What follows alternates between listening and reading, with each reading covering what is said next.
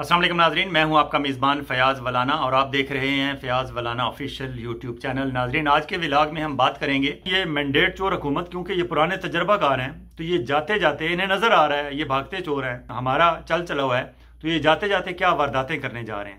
ایک تو راجہ سکندر سلطان صاحب صبح دوپہر شام شہباز شریف صاحب کے سر پہ چڑھے ہوئے ہیں کہ مجھ سے آپ نے اتنی خدمات دے لی ہیں اور آپ نے وعدہ کیا ہوا تھا کہ آپ کو کینیڈا میں یا کسی اور میری مرضی کے ملک میں سفیر بنا کے بھیج دیا جائے گا، تو پلیز وہ کریں نا، جلدی کریں، میرا نوٹیفیکیشن کریں۔ میں اب مزید یہاں الیکشن کمیشن میں نہیں رہنا چاہتا۔ اور پھر آپ اپنی مرضی سے نیا چیف الیکشن کمشنر بھی لگا لیں، جو لگانا چاہتے ہیں۔ مجھے یہاں سے نکالیں، کیونکہ میرے رہنے کے یہاں کوئی حالات نہیں ہیں۔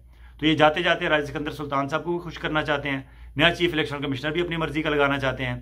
چیئرمین پبلک سروس کمیشن بھی اپنی مرضی کا لگانا چاہتے ہیں۔ اور پھر اور بھی اس طرح کے اداروں پہ ان کی نظر ہے کہ وہاں اپنے بندے لگا جائیں۔ اسی تناظر میں سپریم کورٹ میں بھی یہ زیادہ سے زیادہ ججز اپنی مرضی کے بھرتی کروا کے جانا چاہتے ہیں۔ کیونکہ انہیں پتا ہے کہ گھوم پھر کے ہم نے اپوزیشن میں ہونا ہے یا حکومت میں ہونا ہے، تو پھر انہی لوگوں نے آج ہم اپنی مرضی کے بیج بوئیں گے، پودے لگائیں گے اپنی مرضی کے، تو کل وہ ہمیں پھل دیں گے۔ یہ ان کا طریقہ واردات ہے پرانا۔ کیونکہ جہاں تک سپریم کورٹ میں ججز کی تعداد کا معاملہ ہے، سترہ ججز کم نہیں ہوتے، کیونکہ ہمارا نیکسٹ ڈور نیبر ہے انڈیا ڈیڑھ ارب، تقریباً ڈیڑھ ارب اس کی آبادی ہے۔ وہاں سپریم کورٹ کے ججز کی تعداد چونتیس ہے۔ اور ہمارے ہاں سترہ کچھ کم نہیں۔ اگر سترہ پورے ہوں تو، یہ پہلی دفعہ سترہ پورے ہوئے ہیں۔ اب اگر سترہ پورے ہوں اور آپ اسے، یہ جو غیر ضروری قسم کی آپ نے الجھایا ہوا ہے انہیں سیاسی معاملات میں، سیاسی معاملات بھی وہ جس میں سے نکلنا کچھ نہیں ہے آپ کا۔ اب مخصوص نشستوں کا معاملہ ہے تو سیدھا سیدھا بات ہے کہ پبلک نے ووٹ دیا ہے جن لوگوں کو ان کا جو حق ہے انہیں دے دیں۔ لیکن آپ نے کیونکہ قاضی صاحب اپنی مرضی کا فیصلہ لینا چاہتے ہیں، اس لیے گھمائے جا رہے ہیں، گھمائے جا رہے ہیں۔ نیب ترامیم صاف نظر آ رہا ہے کہ صرف انہیں سپورٹ کرنے کے لیے کی جا رہی ہیں۔ اس کے علاوہ جتنے کیسز سپریم کورٹ میں اب وہ نور عالم صاحب بھی لے کے آ گئے ہیں امینڈمنٹ قومی اسمبلی میں، وہ بھی چیلنج ہونی ہے تو انہوں نے سپریم کورٹ کو الجھایا ہوا ہے صرف اپنی حکومت کو سہارا دینے کے لیے۔ اس طرح کے دو نمبر کیسز میں۔ آپ اگر سارے ججز کو ادھر الجھائے رکھیں گے، تو پھر عام صارف کے کیسز کیسے آگے بڑھیں گے؟ تو یقیناً آپ لوگ ہی ہیں، اس کے راستے میں بھی رکاوٹ۔ لیکن کیونکہ یہ چاہتے ہیں کہ ہم اپنی مرضی کے پودے لگا جائیں، یہ کل ہمیں پھل دیں گے۔ لیکن کون جیتا ہے تیری زلف کے سر ہونے تک؟ آپ کو کیا پتا کہ کل کیا ہو؟ اور جہاں تک نور عالم جو جمعیت علماء اسلام فضل الرحمان کے ممبر ہیں بظاہر، انہوں نے جو ترامیم قومی اسمبلی میں وہ لے کے آئے ہیں۔ اب نور عالم صاحب کا تعارف کیا ہے۔ ارب پتی ہیں، لیکن ان کے آمدن کے ذرائع کے حوالے سے مختلف سوالات اٹھتے رہے ہیں، لیکن کبھی انہوں نے وضاحت نہیں کی کہ میرے آمدن کے ذرائع کیا ہے اس سے پہلے وہ پاکستان تحریک انصاف میں رہے ہیں۔ اس سے پہلے پاکستان پیپلز پارٹی میں رہے ہیں۔ جب پاکستان تحریک انصاف میں تھے تو انہوں نے این موقع پر عمران خان کی پیٹ میں چھرا گھونپا۔ یہ راجہ ریاض کے بعد دوسرے پی ٹی آئی کے وہ منحرف رکن تھے جو صبح دوپہر شام عمران خان کے خلاف زہر اگلتے تھے۔ اور پھر ہوا یہ کہ عمران خان کی حکومت بھی چلی گئی لیکن اس کے بعد بھی یہ کئی ماہ تک پشاور اپنے حلقے میں نہیں جا سکے۔ لیکن اب جب الیکشن آیا تو انہوں نے جمعیت علماء اسلام فضل الرحمان سے ٹکٹ لے لیا۔ اور ٹکٹ پہ کھڑے ہو گئے، جتوانے والوں نے جتوا دیا۔ سننے میں آیا ہے کہ انہیں پنڈی والوں نے جتوایا ہے، اس لیے وہ آج تک پنڈی والوں کی باتیں مان رہے ہیں۔ اور یہ اس گورنمنٹ کو سہارا دینے کے لیے جو نئی ترامیم بھی لے کے آئے ہیں، وہ انہی کے اشارے پہ لے آئے ہیں۔ اس لیے مولانا فضل الرحمان صاحب نے نور عالم کو اپنے ہاں طلب کر لیا ہے اور ان سے جواب طلبی ان کی ہو رہی ہے۔ کیا آپ نے یہ جو ترامیم پیش کی ہیں، کیا آپ نے اپنی پارٹی سے پوچھا ہے؟ کیا مجھ سے جو میں لیڈر ہوں پارٹی کا، کیا مجھ سے پوچھا ہے؟ اور یہ ترامیم آپ کے ہاتھ میں پکڑائی کس نے؟ ترامیم کیا ہے؟ وہ سپریم کورٹ کی ورکنگ ساری بدلنا چاہتے ہیں۔ لیکن جن کی ورکنگ ہے، ان سے مشاورت تو کجا، ان سے یہ سارا معاملہ خفیہ رکھا جا رہا ہے۔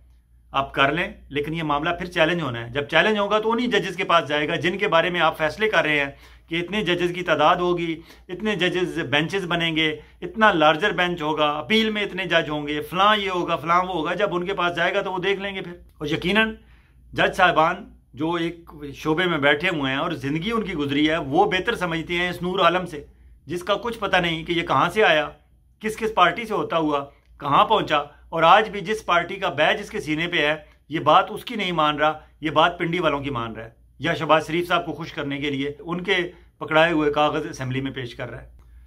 اب پنڈی والوں کو ذکر آیا ہے تو ان کی بھی بتاتے چلیں آپ کو۔ علی امین گنڈا پور نے جس طرح اعتراف کیا ہے کہ ہاں میرا پنڈی والوں سے رابطہ تھا اور ان کے کہنے پہ ہی میں نے عمران خان سے بات کی اور عمران خان نے پھر اعظم سواتی کے ذریعے اناؤنسمنٹ کرائی، جلسہ منسوخ کرنے کی۔ اس بات کی تصدیق اب وزیر دفاع، جو باقاعدہ پنڈی والوں کے انچارج ہیں، خواجہ آصف، انہوں نے بھی کر دیا انہوں نے کہا کہ ہاں علی امین گنڈا پور کے پنڈی والوں سے اسٹیبلشمنٹ سے رابطے ہیں۔ اب یہ خبر شہباز شریف صاحب پہ تو بجلی بن کے گری ہوگی کہ علی امین گنڈا پور اور خواجہ آصف ایک پیج پر آ گئے دونوں اس بات کی تصدیق کر رہے ہیں کہ رابطے ہیں اور اگر رابطے ہیں تو اس میں سے پھر پی ٹی آئی والے کچھ نہ کچھ تو ضرور نکالیں گے۔ اس لیے شاید تحریک تحفظ آئین پاکستان والے محمود چکزئی تھوڑے سے خاموش ہو گئے کیونکہ انہیں نظر آ رہا ہے کہ شاید مجھے اتنی ایکٹیویٹی دکھانے کی فی الوقت ضرورت نہیں ہے۔ جب بیک ڈور چینل سے معاملات حل ہو رہے ہیں، دیکھیں معاملات یہ آگے کہاں بڑھتے ہیں، لیکن فی الوقت پریشانی شہباز شریف گورنمنٹ کے لیے ضرور ہے۔ اب اس پریشانی کے عالم میں مریم نواز کیا کر رہی ہیں؟ ان سے اور کچھ نہیں ہوا تو انہوں نے لاہور کی تحصیلوں کی تعداد پانچ سے ڈبل کر کے دس کر دی ہے۔ اب اگر کسی جگہ کسی تحصیلوں کی تعداد بڑھانی ہے یا ڈسٹرکس کی تعداد بڑھانی ہے تو اب یہ تو ہو سکتا ہے کہ پانچ سے آپ محسوس کریں گے چھ یا سات کر دی جائے لیکن یہ کہاں کا سلسلہ ہے کہ آپ پانچ سے دس کر دیں۔ اب انہوں نے جلو کو بھی تحصیل بنا دیا ہے۔ میری مانے مریم نواز صاحبہ تو ایسا کریں جلو کو الگ تحصیل کر دیں اور موڑ کو الگ کر دیں۔ جلو موڑ، دو دو لفظ ہیں۔ دونوں کو الگ الگ کر لیں، دو تحصیلیں وہاں سے نکال لیں۔ آپ کیا کرنا چاہتے ہیں؟ جب آپ تحصیلیں بڑھاتے ہیں، کیا پاکستان کے وسائل ہیں اتنے؟ کہ ہم اس طرح آفیسز بڑھاتے جائیں، بندے بڑھاتے جائیں؟ چاہے لوگوں کو سہولتیں اس حد تک ملیں یا نہ ملیں، لیکن آپ نے تحصیلیں بڑھانی ہیں ڈسٹرکٹ بڑھانے ہیں اور آگے اپنا پروٹوکول بڑھانا ہے اور کچھ نہیں کرنا آپ نے۔ اور پھر اسی غصے میں پنجاب پولیس نے گزشتہ رات لاہور سے ایم پی اے شیخ امتیاز محمود کو اریسٹ کر لیا۔ اب وہ الیکٹڈ ایم پی ہیں، انہیں اریسٹ کر لیا۔ چلیں، کوئی الزام آپ نے اس پہ دھرا ہوگا، جھوٹا سچا۔ لیکن کم از کم بتا تو دیں کہ اسے کہاں اٹھایا، کہاں لے کے گئے، کس تھانے میں رکھا۔ میں کوشش کروں گا کہ آپ کو ایک کلپ دکھا دیں۔ شیخ امتیاز کی اہلیہ سائمہ امتیاز، انہوں نے میڈیا کو بتایا ہے۔ میں شیخ امتیاز صاحب کی مسز ہوں۔ چھ بجے سے میں لاہور کی سڑکوں پہ اور پولیس اسٹیشن پہ ڈھونڈ رہی ہوں کہ شیخ صاحب کہاں ہیں، مجھے ان کی صرف خیریت دریافت کرنی ہے۔ کوئی پولیس والا کوئی بھی کوپریٹ نہیں کر رہا، کوئی نہیں مجھے بتا رہا۔ رات کے دو بج کے دس منٹ ہو گئے ہیں۔ ابھی میں چونگ تھانہ جو ہے، کیا کہتے ہیں اس کو سی آئی اے کا آفس یہاں سے میں نکلی ہوں۔ انہوں نے کہا کہ یہاں پہ کوئی کوئی نہیں ہے۔ میں صرف یہ کہنا چاہ رہی ہوں کہ صوبائی اسمبلی کے ممبر شیخ امتیاز میں جو الیکٹڈ ایم پی اے ہیں، ان کا یہ حال ہو رہا ہے تو باقی ورکروں کی باقی ورکروں کا کیا حال ہوتا ہوگا؟ میں صرف آپ سب لوگوں سے یہ اپیل کر رہی ہوں کہ مجھے صرف ان کی خیریت دریافت کر دیں۔ مجھے صرف یہ جاننا ہے کہ میرا شوہر ٹھیک ہے اور وہ کہاں رکھا گیا جو کہ میرا حق بنتا ہے کہ میں جانوں کہ میرا ہسبینڈ ہے کدھر۔ انہوں نے کہا، اس وقت بھی میں ایک تھانے کے باہر کھڑی ہوں اور مجھے کہیں سے نہیں پتا چل رہا کہ میرا ہسبینڈ کہا ہے۔ مجھے صرف اتنا بتا دیا جائے کہ وہ کس تھانے میں ہے اور اس کے بعد آپ نے جو کاروائی، قانونی کاروائی کرنی ہے، اس سے نہ ہم روک رہے ہیں، نہ ہم آپ کو کہہ رہے ہیں۔ آپ کریں جو قانونی کاروائی کرنی ہے۔ لیکن کم از کم بتا تو دیں کہ وہ کہاں ہے اچھا جب ہم اس شہباز شریف گورنمنٹ اور مریم نواز کی گھبراہٹ کی بات کرتے ہیں، تو یقیناً دوسری طرف ہمارا خیال عمران خان کی طرف جاتا ہے کہ کیا جو پابند سلاسل ہے، اس کی گھبراہٹ کا کیا عالم ہوگا۔ یقین مانے وہ بالکل گھبرایا ہوا نہیں ہے۔ گزشتہ روز بھی اس نے اڈیالہ میں اس وقت سرپرائز دیا، وہاں موجود رپورٹرز کو، کہ جب اس نے جیو کے رپورٹر کو، حالانکہ آپ کو پتا ہے کہ جیو اور جنگ اور دی نیوز مسلسل عمران خان کے خلاف کوئی موقع ہاتھ سے جانے نہیں دیتے، عمران خان کے خلاف رپورٹنگ کے لیے، عمران خان کے خلاف خبریں لگانے کے لیے اور عمران خان کے خلاف فضا ہموار کرنے کے لیے۔ لیکن عمران خان نے گزشتہ روز اڈیالہ کی کاروائی میں جب اسے پتا چلا کہ جیو نیوز اور پبلک نیوز کے رپورٹر کو باہر روک لیا گیا ہے اور انہیں اندر نہیں آنے دیا جا رہا، تو عمران خان نے عدالت سے کہا کہ ان جیو نیوز کے اور پبلک نیوز کے دونوں رپورٹرز کو جب تک کوریج کی اجازت نہیں ملتی، سماعت نہیں ہوگی۔ عمران خان نے تقریباً بائیکاٹ کر دیا۔ اور عدالت کی کاروائی روک۔ عمران خان نے کہا کہ یہ دونوں رپورٹرز کو میں جانتا ہوں، یہ مصدقہ اور متوازن رپورٹنگ کرتے ہیں۔ اب عمران خان نے ان جیو کو ہنڈریڈ پرسینٹ کلین چٹ نہیں دی، لیکن کہا کہ یہ مصدقہ اور متوازن رپورٹنگ کرتے ہیں اور کاروائی عمران خان نے رکوا دی۔ اب دیکھیں آپ کہ ایک بندہ جو پابند سلاسل ہے، جس پہ مقدمے پہ مقدمے چل رہے ہیں، جس کی اہلیہ نماز پڑھنے لگتی ہیں، تو وہاں اوپر سے چوہے گرا دیے جاتے ہیں۔ عمران خان کو خود لوگوں سے اسے قید تنہائی میں اب عملاً رکھا گیا ہے کہ وہاں جو عمران خان سے لوگ ملتے تھے، سلام دعا کرتے تھے، یا تھوڑی بہت اس کی ایک سابق کرکٹر اور ایک سیلیبریٹی اور ایک ہیرو ہونے کی وجہ سے، سابق پرائم منسٹر ہونے کی وجہ سے، یا لوگ سمجھتے ہیں کہ وہ حق پہ ہے، ہونے کی وجہ سے وہاں اسے جیل میں جو احترام مل رہا تھا، اس کے خوف سے اب وہاں سے سارا عملہ مریم نواز نے تبدیل کر دیا ہے۔ اور لوگوں سے کہا ہے کہ آپ عمران خان سے دور رہیں، آپ عمران خان سے ڈسٹنس پہ لوگ ہوتے ہیں۔